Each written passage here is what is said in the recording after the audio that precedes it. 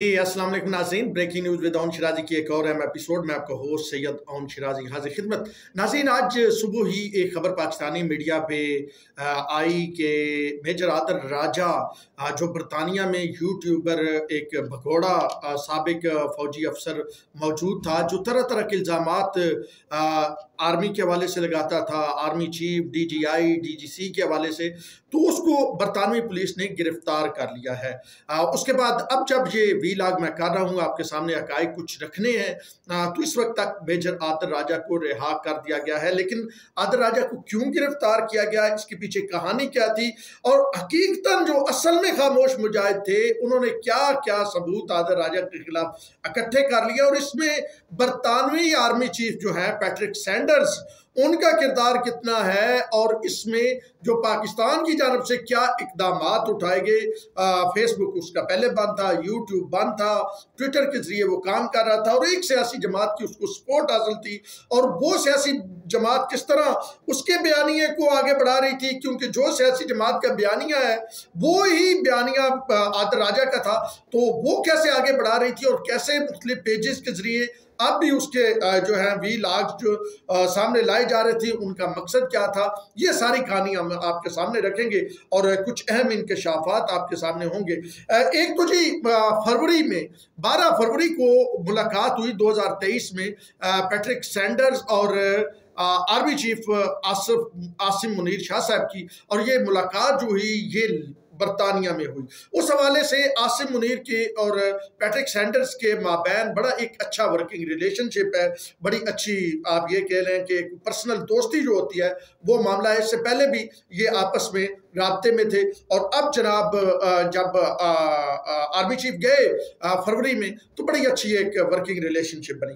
फिर Peter Patrick Sanders जो है, वो 29 मई को पाकिस्तान तशरीफ़ ले आए। पाँच दिन का ये दौरा था और इसमें काफ़ी कुछ चीज़ें आगे आई। Joint chief of staff committee जो है, साहिर शमशाद मिर्ज़ा, उनसे उन्होंने मुलाकात की। आर्मी चीफ से मुलाकात की।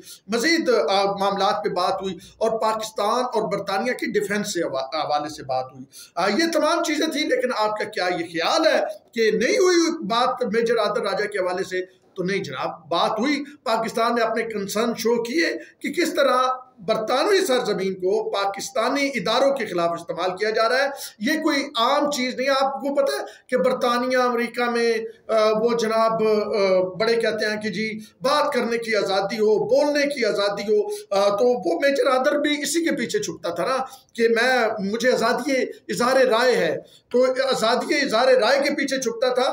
तो ये ख्याल किया जा रहा था कि वो जो कुछ बकता रहेगा, वो जो कुछ बोलता रहेगा, वो चलता रहेगा, वो मला अंडरमाइन करेगा स्कैंडलाइज करेगा पाकिस्तान के अहम ऑफिसर्स को।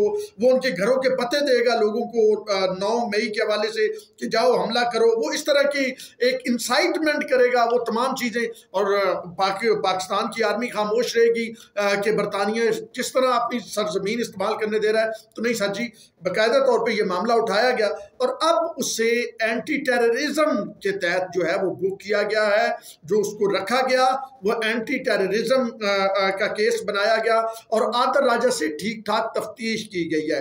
आदर राजा से मुख्तलिफ़ लोगों के बारे में पूछा गया है क्योंकि ये आदर राजा आगे जाके मैं आपको बताऊँगा ना कि कैसे इसका कनेक्शन कहाँ कहाँ मिलता था, कौन मिलके ये सारी कहानी डाल रहे थे, कौन पाकिस्तान को बदनाम करना चाहते थे, कैसे वो एक ट्वीट करता था तो पाकिस्तान तारीख इंसाफ के लोग जो है, वो टीवी पे उससे मिलती जुलती बातें करते थे। खान साहब तकरीर ठोक देंगे सन, या खान साहब भी ट्वीट ठोक देंगे सन। वो भी ला करता था तो क्या होता था? ये सारी कहानी मैं आपको आगे बताता हूँ। तो जनाब अली, उसको बुलाया गया है, और अब कान हो गए भाईजान। सिर्फ़ आदर राजे को नहीं, बहुत सारे वो बाहर जो मजीद बैठे हुए हैं वो जो पे रोल पे हैं, वो जो रबते में हैं उनमें से कुछ लोग ऐसे भी हैं, जिनको पाकिस्तान की अस्करी इस्टेब्लिशमेंट ने खुद क्रिएट किया था। वो तो बेचारे मतलब वो बोल नहीं सकते थे लुकनत थी उनकी जबान में। वो बोल नहीं सकते थे उन लोगों को हीरो बनाया पाकिस्तान के अस्करी इदारों ने। लुकनत थी। वो बाहर बैठे हुए हैं। एक वो साहब हैं जो अपने आ, मरे हुए बाप के अंगूठे लगवा रहे थे और वो पकड़े गए थे। तो अब उनके खिलाफ भी एफ़ आई आर हो गई हैं। उन दोनों के खिलाफ भी। उनको भी एक पैगाम मिल गया।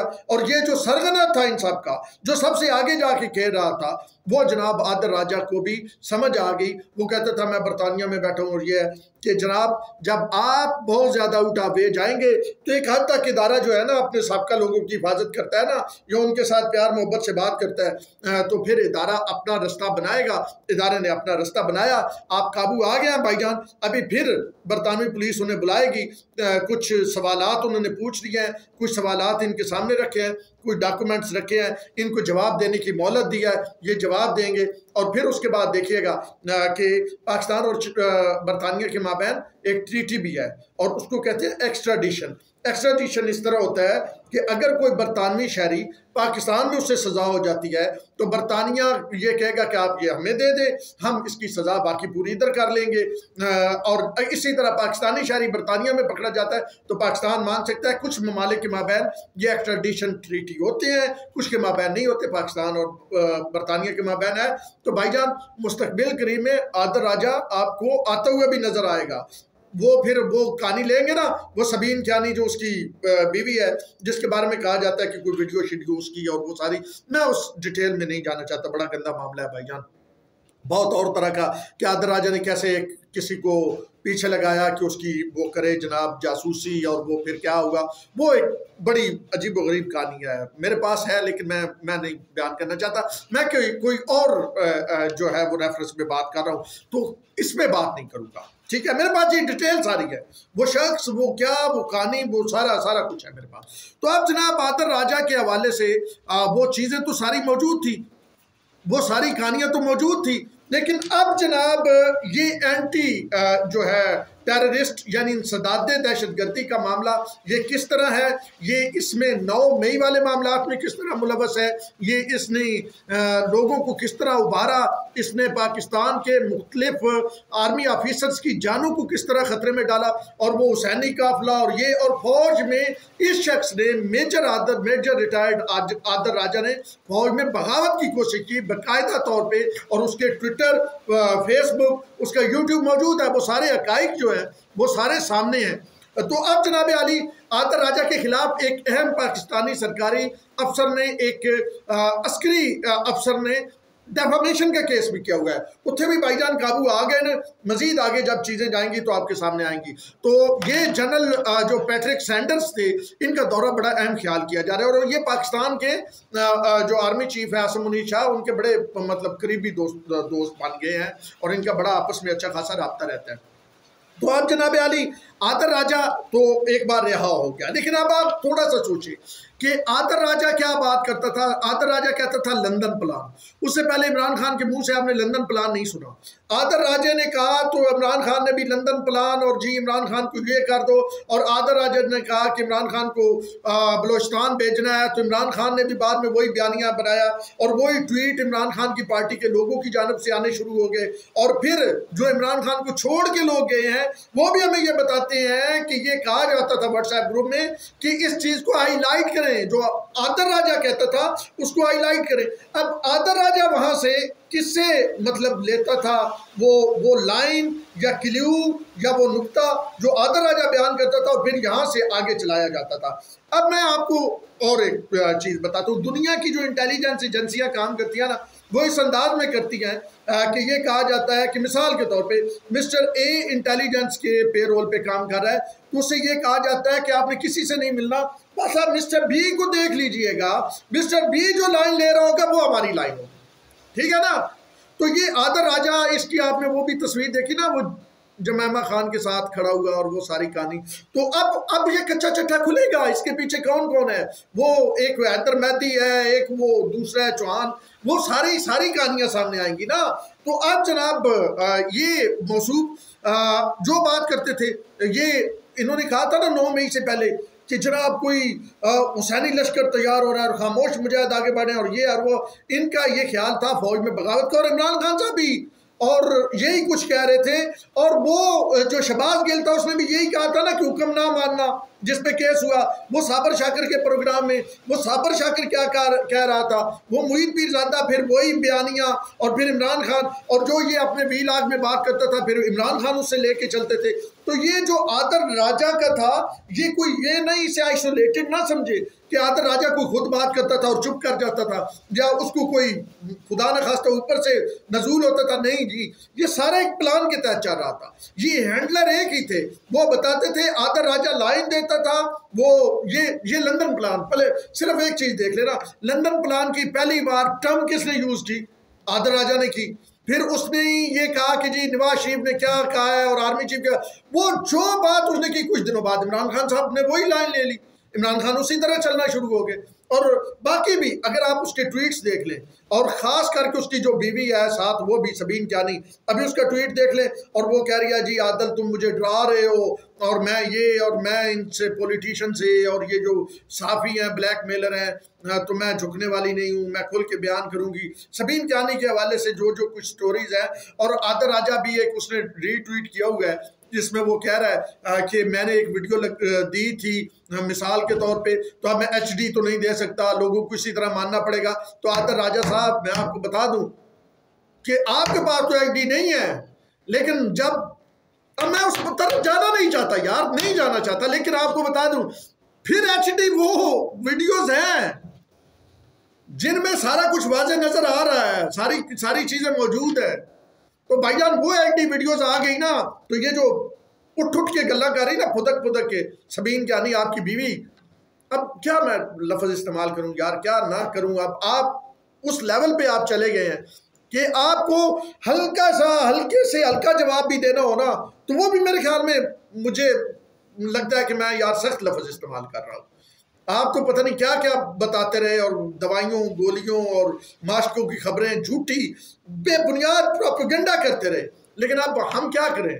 अब आपकी जबान में तो जवाब देना नहीं है, क्योंकि इतना गिर नहीं सकते। और अगर लेस से लेस भी जवाब दें तो वो भी मेरे ख्याल में, वो मेरे लिए मतलब मुश्किल हो जाएगा। बहरहाल, आदर राजा साहब, ओ, क्या कहते के, वीडियो तो भाईजान आ रही थी, और एच डी वीडियोज़ भी हैं। वो जब सामने आई ना तो फिर किसी को कोई ज़रूरत नहीं पड़ेगी। कि वो क्लैरिटी करता रहे कि नहीं नहीं, अगर वीडियो बदी है तो बंदी वो ही है या वो जैसे आप कह रहे थे ना, ये अगर आप अपने उस इंटरव्यू में ज़िक्र ना करते, जो आप अपने ट्विटर पर आपने लगाया तो मैं कभी भी इस तरफ़ ना आता। बहरहाल नहीं हो जी, ये एक सारा कट था। ये अभी शबाद गिल क्या कर रहा है? उधर अमेरिका में बैठ के, इधर से भाग गया है अमेरिका में बैठ के अब शबाद गिल क्या कर रहा है? इमरान खान क्या कर रहे हैं? उनका बयानिया क्या है? मुईद पीरजादा का, साबर शाकर का शाहीन से भाई का, ये सारा बयानिया अगर आप मजमू तौर पर देखें तो वही बयानिया लेके जा रहे हैं जो आदर राजा कहता है। आदर राजा कुछ पाँच दिन पहले बात करता है और पाँच दिन बाद वो फिर सारे उसी को लेके चलते हैं। तो ये वाजे लग रहा है कि कोई है कोई है समझ रहे होंगे आप। आने वाले दिनों में फिर मैं बहुत सारे अकाइक और भी सामने लाऊँगा। कोई है जो आदर राजा को लाइन देता है और इनको कहा गया कि आदर राजे की लाइन वेख लेना तो फिर यही लाइन लेना।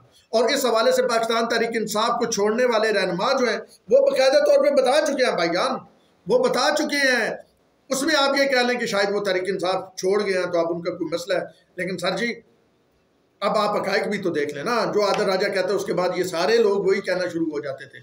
तो आए, आने वाले दिन बड़े मतलब ना, मुश्किल है उन लोगों के लिए, जो ये समझते थे कि वो पाकिस्तान से निकल के और बाहर बैठ के पाकिस्तान के इदारों को लान तान करेंगे, शख्सियात को लान तान करेंगे। भाईजान, उन लोगों के भी पासपोर्ट कैंसिल होंगे, जो इदारों के खिलाफ नारेबाजी कर रहे थे और उन लोगों को गिरफ्त गिरफ्त में लाया जाएगा नहीं, लाया जा रहा है या लाया जाना शुरू हो गया है। मतलब पकड़ना शुरू, वो कैसे इमरान खान कहते थे, तब्दीली आ नहीं रही, तब्दीली आ गई है। तो भाईजान अब लाया जा नहीं रहा, लाया जाना शुरू हो गया है भाईजान अब वो मुस्तकबिल वाली बात खत्म है। तो भैया हूँ खैर मनाओ तो फिर अगे आओ। हूँ हूँ हूँ अगे आओ। तो हूँ वही लाइन लो जी अगे लाइन लाया रही थी अब तक के लिए थे और एक जाते जाते बात कह दूँ कि अब असल वाले खामोश मुजाहिद सामने आए हैं। ये वो नहीं है जो आपने अपने तौर पे ही कुछ कहानियाँ जोड़ी हुई थी। असल वाले खामोश मुजाहिद आए हैं सामने। और जब ये खामोश मुजाहिद सामने आते हैं ना तो फिर बड़ों बड़ों की बोलती बंद हो जाती है, क्योंकि इनके पास हकाइक होते हैं, इनके पास सबूत होते हैं। अब तक के लिए इतना ही अपने वो सैयद शराजी को दीजिए इजाज़त, अल्लाह